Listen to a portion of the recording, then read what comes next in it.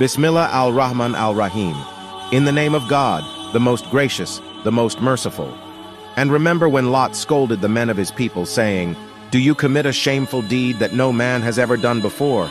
You lust after men instead of women. You are certainly transgressors. But his people's only response was to say, Expel them from your land. They are a people who wish to remain chaste. So we saved him and his family except his wife, who was one of the doomed. We poured upon them a rain of brimstone, see what was the end of the wicked?